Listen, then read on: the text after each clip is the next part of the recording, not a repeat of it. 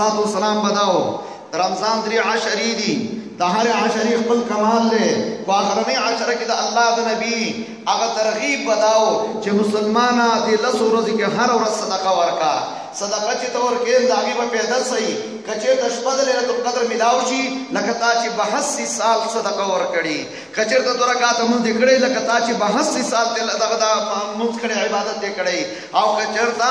د الله رب العالمین هغه عبادت باندې ځان مشغوله کړی نو د بهسي سال د هغې ثواب ورته میلاویږي نو رب العالمین ترغیب ورکوي مسلمان ته چې انفاق بکې په رمضان کې او رجوع بکې د الله ذات ته ګناهونه به په الله رب العالمین باندې ورتاواني او دا میش چې کوم د زما عزت مند دا د حیا میش تخا الحیاء شعبه من الايمان امام بخاری او حدیث ذکر کړی دی دا حیا نه د مسلمانانو دا د الله رب العالمین د طرف د ایمان یو حصہ ده مسلمان په حیاداری حیا چې کله لاړ لن به د الله عذابونه راځي منګه دې سي طرف ته توجه نه کړي د پیغمبران علیه الصلاۃ والسلام شان بسو هر یو نبی له الله رب العالمین څلور خبرې لازمي کړې وي اولنۍ خبره حیا انبیاء علیهم السلام ډیر حیاناک خلکو مسلمان به حیاداری زنانه به حیاداری نارینه به حیاداری غټ خلک به حیاداری ورکوټي به حیاداری او حیا دا د انبیاء علیهم الصلاه والسلام اولنې مطلب چې لکه حق چې هغه به حیا کولا دویم خوشبو لګول نبی کریم علیه السلام نور انبیاء د حیا سره دویم د خوشبو استعمال کو پیغمبر پاک فرمایي دا د انبیاء سنت دي او دا طریقه پیغمبران علیهم الصلاه والسلام ده او دریم د هغې نه د مسواک استعمال نبی علیه السلام فرمایي هر یو نبی چې دنیا ته راغلی دی استعمال د مسواک یې کړی دی چې اوس موږ او تاسو مسلمانان پنځه وخته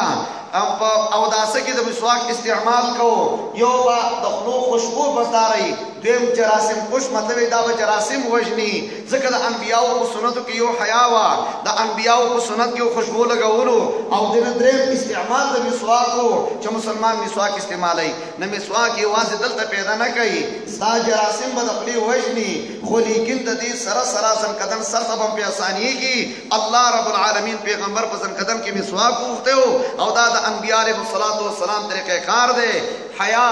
دویم خوشبو لګول، دریم مسواک لګول زما عزتمندو. څلورم نکاح، نکاح د انبياء عليهم الصلاة والسلام طريقه کار وو، کله چي نکاح يي نو دا انسان به محفوظ يي، نکاح نشته انسان به مفضي شي زنا ته، انسان به مفضي شي بي حيايۍ ته، انسان به مفضي شي نارواوو ته، پيغمبرانو يو طريقه کار هغه د نکاح وو زما عزتمندو، کله چي نکاح يي نو معاشره به جوړه يي، نکاح نشته جينکۍ به تښتي، نکاح نشته الکان به جرمونه کوي نکاح نشته خلک به ګناهونه کوي نکاح نشته خلک به د الله حکمونه ماتوي دا د انبیاء علیهم الصلاۃ والسلام طریقه و زما عزت مند حیا دا د انبیاء علیهم الصلاۃ والسلام شان دی اصلور سیزونه د انبیاء د سنت نیو مسواک وو نبی علیہ السلام فرمایي طهور شطر الايمان دا صفائی چې کوم د ایمان حصہ د پیغمبر علیہ السلام فرمایي زمونږ او ستاسو خو یو دین دی واضح هر حکم ښکاره کړی دی پیغمبر علیه الصلاۃ والسلام حیا داسې یو سیز دی کله چې په مسلمان کې حیا رال الله نو الله تعالی په دې باندې خوشحالي الله له حیا ورځي په خپل اے در شیخ صادق رحمه الله فرمایي چې تاسو د رب العالمین هغه مې امر مې رومانه ته وګورئ ګناه بند کردس او شرمسارا ګناه بندو کې والله وای مال حیا راځي د دې بندنه ښه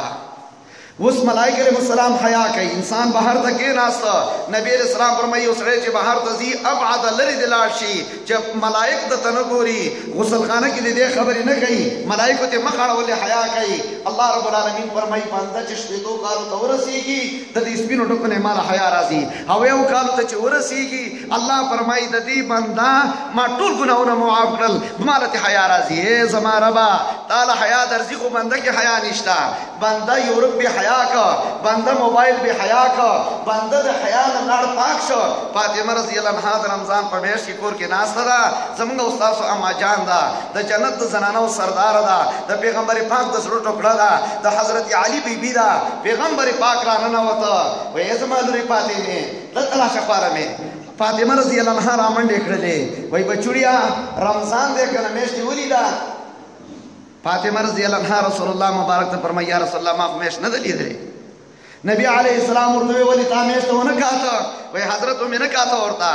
نبی علیہ السلام د فاطمه رضی الله عنها نه تاسو کوي دی میشت ته دی ولی ونه کاته فاطمه فرمایي یا رسول الله دا ورځ ډیره قیمتي و هر مؤمن مسلمان د نارینه او زنانه نظر په میش باندې و کته ما وې که زما د نظر د انسانانو د نظر سره یو ځای شي زما حیا کې فرق رانه شي په دې وجه باندې ما مېش ته کتلې نه فاطمه کور کې ناشته ده مېش په اسمان کې ده د بل ناری نظر نظر سره به نظر یو ځای شي نو حیا برانه لاړ شي نو چې حیا لاړ اضافات کا حیا او فعل ما شئتا چې حیا در پکې نه بیچ دي هر څه خو غیناغه کوا وګورئ د مسلمانانو د پښتنو په معاشره کې به چې کله مارکیټون ته ځي نو ته به زنانه ځان بچ کې هغه در باندې راسوري او چې کله وګوري نو مطلب نظر دی قد از مکی ته به اچولې د تمام زنانو د اتر خونه ښکارا کیږي نه دلته خېټه ښکارا د حیا کم ځای کې د چرته لاړه حیا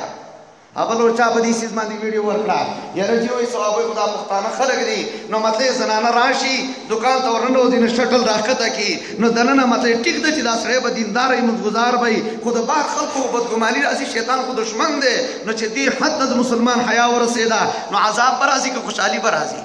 او حیا دې انجوز بوتله مې رومان نو مخکې به زنانه او مطلب یې ټیک د ګودر نه بیا منګی راوړو خو منګی به په سرو د زنانه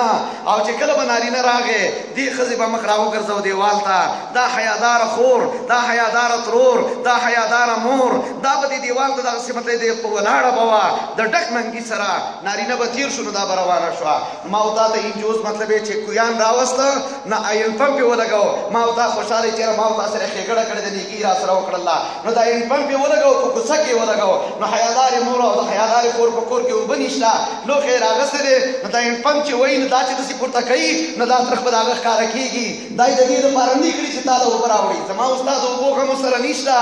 خور می بی حیا کوي مور می بی حیا کوي زنانه بی حیا کوي مسلمان بی حیا کوي کوڅې ته راوېست او پم په وته کې خو د چې دا غړ خوا نو ستاسو مطلب یې چې لکه ټول وجود چې کوم دی هغه ښکارا کیږي زما عزت مند مسلمانانو چا چې ورځ رمضان روزه ما تکړه الله بغیر د رخصت نه بغیر د مرز نه کوټو زمانه دی روزي ونی سیده روزه فاګه نه ادا کیږي نو چې هر کله د روژې انتظام د حیا انتظام د ګنانو د معافی انتظام د مسلمان په معاشره کې راغې به برب رحم او کراسي مسلمانانو چې رمضان کې دا ګناونه په الله ورتا و راځي مسلمانانو چې د خپل رب سره راضي نامه وکړو راځي مسلمانانو چې د الله نه د خسته معاشري سوال وکړو راځي مسلمانانو چې الله رب العالمین طرف ته رجوع وکړو ځکه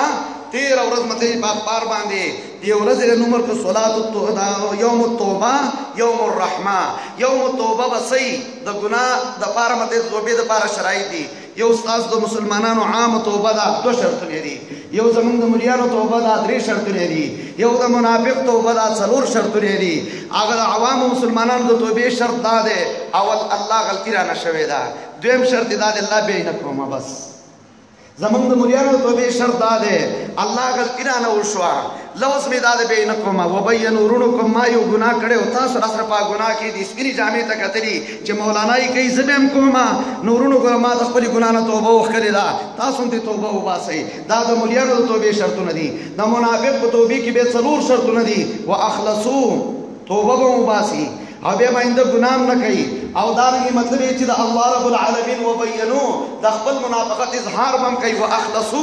عمل به دای چې به منافقت نه کوما نو کومنګ او تاسو په دې طریقه الله ته توبه وباسو زمون به حد مهربان الله بم او تاسو رحم وکي باقی اوس کوم ترتیب مطلب چې مخې ته خو ده شوی دی د معاشري اغا انتظامی امور دا لازمی دي رمضان کې کومنګ او تاسو ماستون تراویح کوو سپونه به دلته نه يي بعضي بوډاګان سپين ږيري خلک يي چې د هغوي زنګنان درد کوي نو يو يو جانماز که تاسو نه شئ اخستی بيا راشئ چې جانمازونه در واخلم په دې اوږه به هم جانماز د نر غونده کې پروت وي مونځ به دلته کوئ سره د جانمازه به تښتئ سنت کور کې وکړئ او دارنګه اودس کور کې وکړئ واړه واړه قدمونه جومات ته راواخلئ فرض دلته ما سره وکي او دارنګ مطلب چې ما سن چې څنګه تراوی کیږي په ټک په جمعات په سر په باندې وینځي او دارنګ نوجوان هم به ته مطلب چې نختی یو خو جمعات خوشبودار می او دویم دا چې حکم اصول دی هغه په پالو کیږي ما او بل صفائی چې کوم دا خو ایمان دی او موږ ته چې خسته جمعات پروتي پاکي دوړه پکې نه سخوالي پکې نه او چې کم مطلب دی چې د سپرو والا یا کم کسان مطلب دی چې ما په دې محکمو کې دي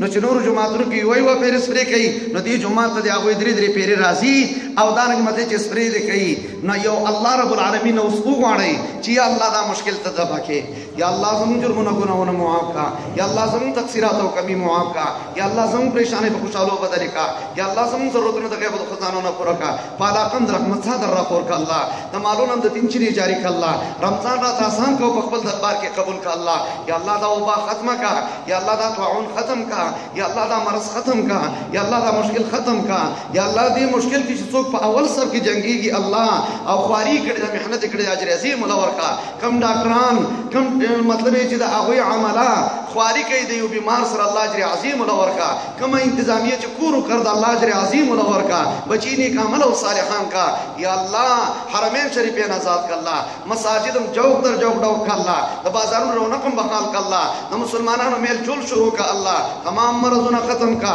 الله مهلک یې سنم په علاقه مخ کار کوا یا الله دا مرض ختم کا یا الله دا مشکل ختم کا یا الله دا پریشانی ختم کا او پاتشو تم بخنو کا بیمارانو هم صحت ورکا پریشان حالم خوشاله ورکا موږ له دنیا او د آخرت عزت راکا الله وخت زم قدم کې دا کلمه په جبه جاری کا لا اله الا